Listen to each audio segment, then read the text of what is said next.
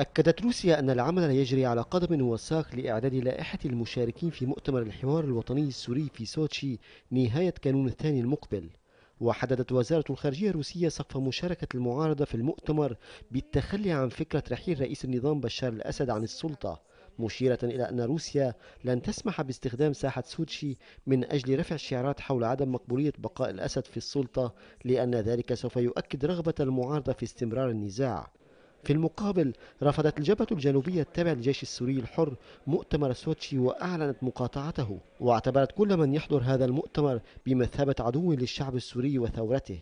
وذكرت بأن كل الجولات المفاوضات من جنيف إلى أستانا أثبتت عدم جدية نظام الأسد وتنصله من كل الاستحقاقات الدولية حيث كان يعمل على كسب المزيد من الوقت ليستمر بقتل وتهجير المدنيين من أراضيهم بدعم روسي وإيراني اللذين بالأساس هم شركاء معه بإراقة الدم السوري. في غضون ذلك أعلن الرئيس التركي رجب طيب أردوغان أن بلاده تعمل مع روسيا في سبيل إجلاء نحو 500 شخص من ضاحية الغوطة الشرقية المحاصرة في ريف دمشق. وأشار إلى أنه ناقش الموضوع مع نظيره وتريد أنقرة نقل من يحتاجون للمساعدة إلى تركيا لتوفير العلاج والرعاية لهم.